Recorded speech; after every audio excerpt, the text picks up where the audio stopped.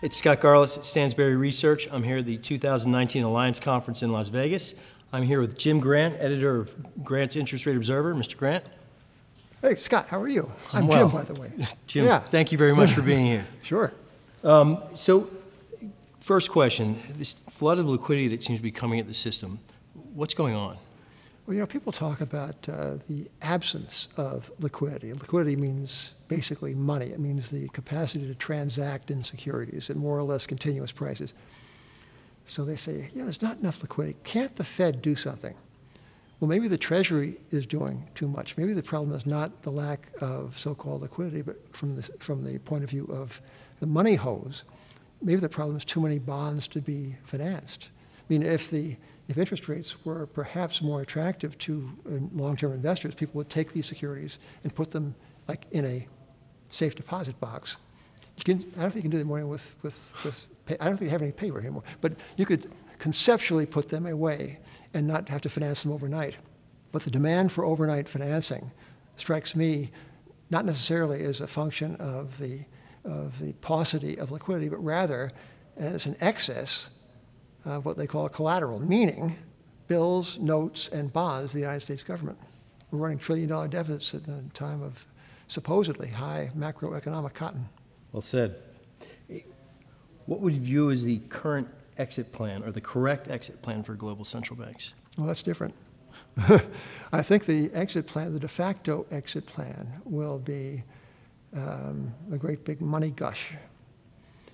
Uh, you know, years years ago, uh, Ben Bernanke said we could raise interest rates in 15 minutes if we wanted to. Well, it turns out that after years of very low rates, people become habituated, and they build up uh, uh, debt, and they need to fund that debt, and they build up leverage. They need want they want more of that because it helps them make money, and uh, high rates don't really go with all of that. So the central banks are kind of stuck, I think, and I think the the way out will be through uh, much more aggressive uh, credit creation.